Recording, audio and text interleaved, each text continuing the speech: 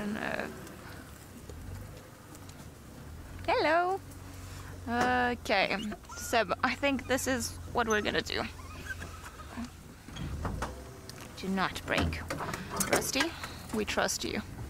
In Rusty, we trust, hey? Alright. Do not want to hit that marula, but you'll be able to see one of the cubs suckling from where you are. Just let me know when.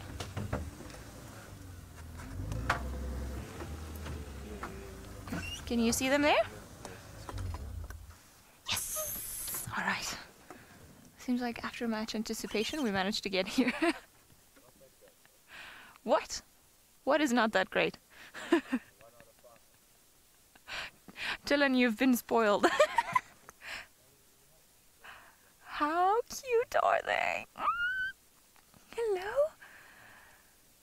Ah, so this has this is one of the smaller ones. He's just busy suckling. I'm sure he's also on to meat now, and that's why um, all the mothers have got the little ones around here. I can count three cubs, two of the smaller ones, and I'm sure there's got to be a fourth one somewhere around. But unfortunately, it's just around. Oh, oh, around too many trees, so it's hard to tell. And I can count, I think, three females. How many did you manage to count?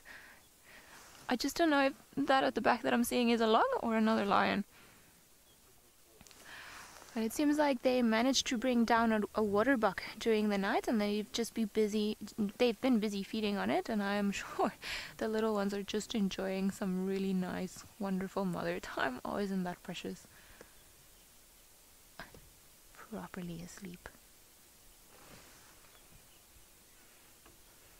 Hmm. I think the ones at the back are just uh, just starting to play. And there's the kill over there, so you see well tucked away underneath the trees just to make sure that they can hide it away from, you know, any possible predators, any vultures that might start flying around. Doesn't seem like there's much left. I don't know if... Is there a lot of the kill left? Is there a lot of the kill left? Because I can't see much from here. Okay, not much. Alright.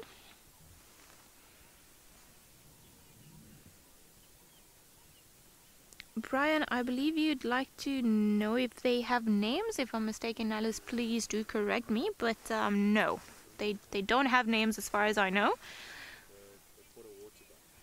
When do they name them? Hmm, it varies depending on every lodge. Normally, they it's some areas don't name them at all. Some areas just, you know, they'll be part of a of a pride. If they're females and you know, if they're the girls stay around, they'll be part of the Styx pride. Not necessarily will they have a name. And in some other areas, for example, if it's males and they form a coalition and eventually they survive into adulthood, then sometimes that's when people like naming them once they've once they've mated, let's say, into the real world. So I don't think these cubs are going to be named anytime soon. A lot of the times people just don't like naming them just in case they jinx them because they want to. One of the ranger superstitions is that if you name a cub before it gets into adulthood, it might not make it. It's uh, got absolutely no scientific value, and it's, you know, just one of those things that gets said around here. But having said that, I mean, I don't think it does it necessarily affects them or gives them a better or a worse chance. But these ones over here, still not named. They're just, you know, the the Styx cubs for the time being, and I'm sure for the next few months, that's exactly how we're gonna know them as. If we do get to see them again, which I'm excited that we are, because they're so tiny and fluffy and pretty. I would say maybe about half the size of the Nkuhumas.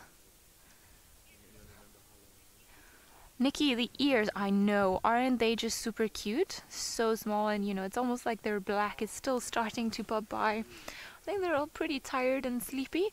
They're all just warming up right nicely next to their mothers and oh, it's just a very, very precious setting.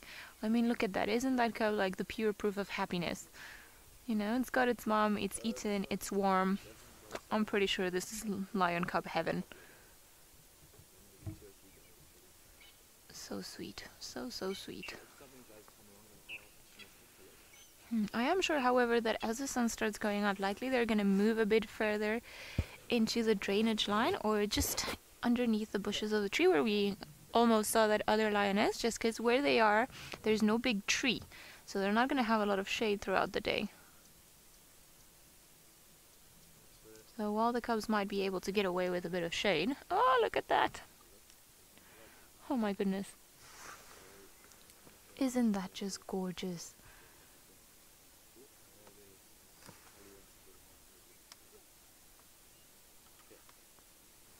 Yeah, the Styx cubs are, I think the Nkuhumas, to be quite honest, are some of the best looking cubs I have ever seen. I really don't know how that Pride has managed. It's just, you know, proof that those girls are doing a stunning job. But these little ones, they're looking quite healthy as well. Don't get me wrong. They're, they're still smaller and they're not maybe as, you know, precious as the Nkuhuma ones. But from what I can see from here, they all look quite healthy. Oh, there's a fourth cub there at the back, another tiny one and they all seem to be doing just fine. So I think we've also been spoiled with the Nkuhumas, but these guys, they seem to be fine.